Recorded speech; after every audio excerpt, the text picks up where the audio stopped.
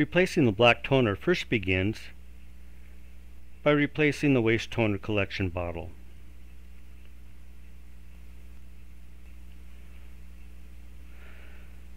This bottle may be discarded or saved for your vendor to recycle. Next, remove the empty black toner cartridge. Rotate it 180 degrees and insert it until it clicks in the waste toner collection area. Take your new cartridge, make sure that the gray spout is pointed down, insert until it clicks, and close the panel.